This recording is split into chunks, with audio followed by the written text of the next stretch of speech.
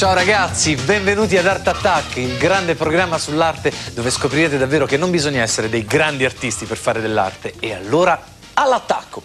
Beh, io oggi mi sento ispirato per un attacco d'arte davvero da brivido, è il caso di dirlo, perché mi sono inventato un bel pipistrello svolazzante. Voi potete usarlo sia per addobbare delle feste a tema, ad esempio, o anche appenderlo nella vostra cameretta semplicemente così per regalarvi qualche turno. Per costruirlo abbiamo bisogno dell'interno di un rotolo di carta igienica e poi con un pennarello, vedete, lo dividiamo in tre sezioni in modo da averle ben distinte. Beh, questo sarà il corpo del nostro pipistrello. Adesso vediamo insieme come si fanno le ali.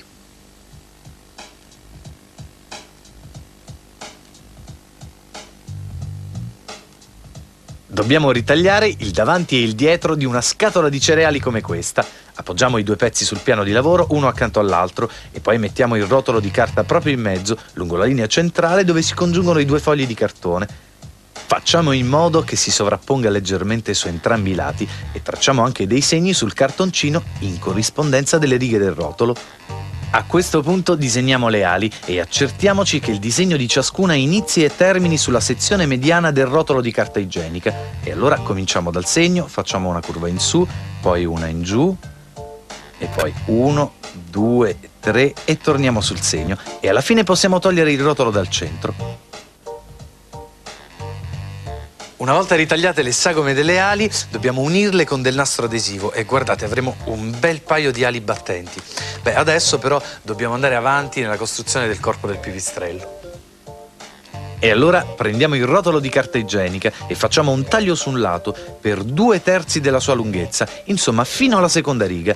Adesso lo ruotiamo leggermente e facciamo un altro taglio di fronte al primo, sempre due terzi della lunghezza totale. Mi raccomando, ricordate la seconda riga, in questo modo avremo due tagli. Adesso capovolgiamo il rotolo e lo schiacciamo alle estremità. E questa volta con molta attenzione tagliamo una specie di V, ecco vedete? Ma mi raccomando, questa non deve superare la prima riga. E quest'ultima parte servirà a fare le zampe del nostro pipistrello. Abbiamo fissato queste estremità con del nastro adesivo e queste saranno le zampette del nostro pipistrello. Adesso, nella fessura che avevamo praticato prima, infiliamo le ali, eh? guardate un po'. Oh, perfetto. E le fissiamo con altro nastro adesivo, in modo da rendere tutta la struttura molto più solida. Beh, il nostro pipistrello adesso è quasi pronto per volare, però gli manca qualcosa. Mm, gli manca la testa. E allora accartocciamo una pallina di carta di giornale bella stretta e infiliamola alla fine del tubo per ottenere naturalmente la forma della testa e la fermiamo con parecchio nastro adesivo per non farla muovere. Poi per gli occhi prepariamo due palline più piccole, questa volta di carta igienica. Ah, beh, adesso dobbiamo pasticciare un po', eh. Le immergiamo in una miscela di acqua e colla in parti uguali, poi strizziamo la colla in eccesso e le sistemiamo in cima al corpo, modellandole delicatamente con le mani. Lasciate asciugare per una notte e gli occhi saranno diventati duri come sassi. Ma poi potete anche ritagliare dei pezzetti come ho fatto io dalla scatola di cereali e fare le orecchie o anche le zampette, guardate. Beh, adesso è veramente pronto per passare alla prossima fase, cioè la fase della pittura. E siccome è un pipistrello dipingiamo tutto di nero.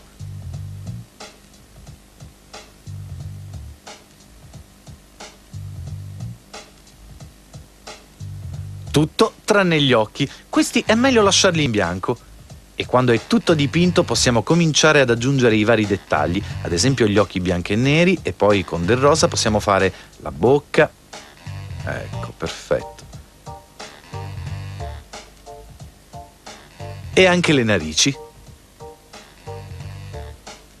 Carino, eh? Ma se volete che le ali sembrino delle vere ali di pipistrello, allora dovete prendere una busta della spazzatura, applicare le ali di cartone sulla busta e poi disegnarne i contorni, ritagliare le nuove ali di plastica e applicarle su quelle di cartone con della colla. Beh, ragazzi, provateci e poi ditemi se queste ah, non sembrano delle vere ali di pipistrello.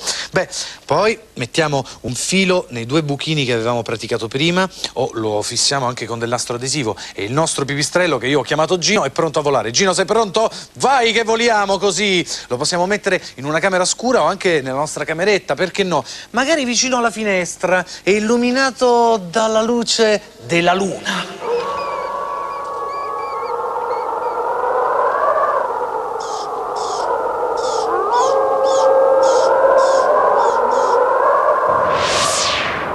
Oh, grandi, non è vero? Ciao, sono io, il capo! Allora, per fare uno di questi pipistrelli svolazzanti, ricordatevi di questo. Prendete l'interno di un rotolo di carta igienica e dividetelo in tre sezioni. Accostate uno accanto all'altro i due pezzi più grandi di una scatola di cereali e sistemate il rotolo lungo la linea di congiunzione. Disegnate un'ala su ciascun pezzo di cartoncino, facendola partire dalla sezione centrale del rotolo. Fate due tagli su un'estremità del rotolo per due terzi della sua lunghezza. Ora tagliate la sagoma a forma di V e fissate con il nastro adesivo per fare le zampe. Infilate le ali nella fessura e fermate tutto con il nastro adesivo. Fate gli occhi e la testa accartocciando delle palline di carta e ritagliate le orecchie e gli artigli di cartoncino. Dipingete tutto di nero e se rivestite le ali con della plastica nera otterrete un fantastico effetto pelle. Geniale! Pipistrelli da attaccare nella vostra stanza! Wow!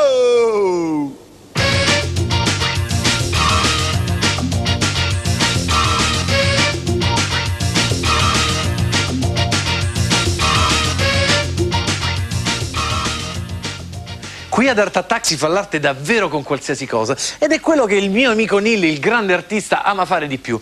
Allora, l'altro giorno Neil si è trovato tra le mani un po' di questo qui, del sale, e ha pensato di farne un uso, diciamo, artistico. Voi provate a capire che cosa ha in mente.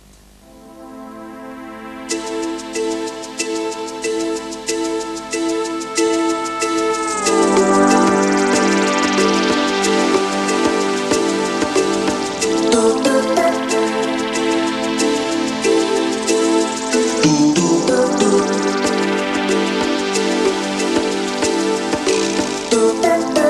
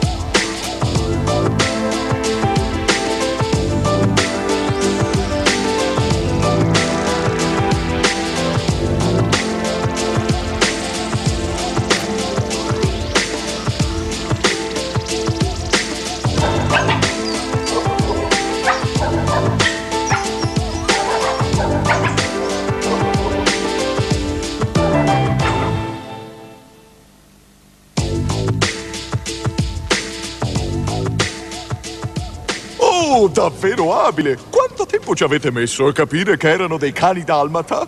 Questo conferma il fatto che chiunque può creare dei quadri con un'infinità di materiali diversi, e perfino io! Eh, volete vedere il mio bel cucciolone di sale?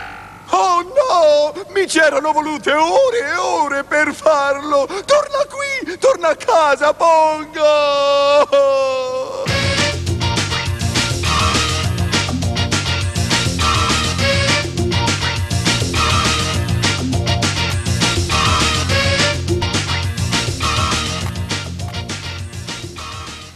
Mi faccio un ciuffettino qua di lato, è vero? Ma vi siete mai chiesti che aspetto avreste voi o un vostro amico con una capigliatura completamente diversa, assolutamente rivoluzionaria?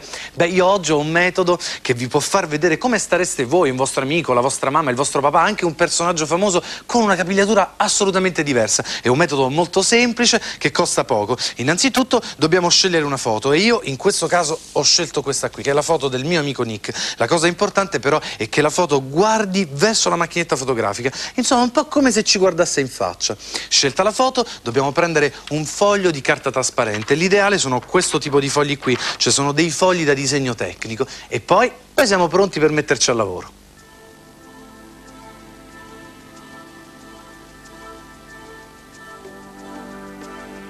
Dobbiamo semplicemente tracciare i contorni del volto che abbiamo scelto e lasciamo fuori i capelli disegnando lungo l'attaccatura, vedete?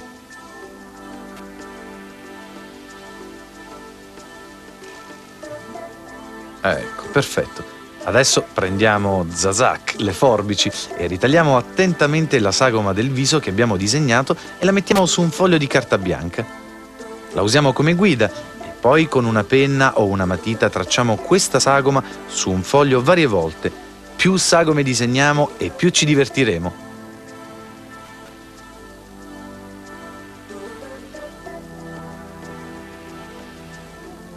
Una volta fatte le sagome potete cominciare a creare le nuove acconciature e potete farle davvero come volete, potete farle esagerate o anche molto essenziali. Beh, guardate queste.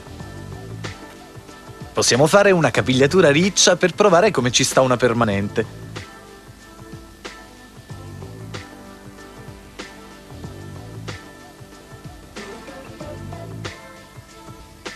O forse qualcosa più sul corto, come va di moda nel mondo delle pop star.